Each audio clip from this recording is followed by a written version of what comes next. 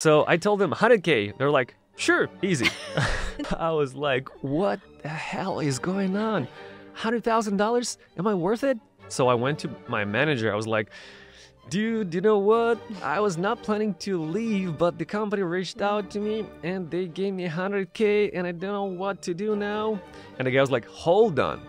Do not accept that offer. Yeah. Give me an hour. He comes back in an hour. He's like, okay, you've been working with us for a while. We like you a lot. You're part of our tech family, of our startup.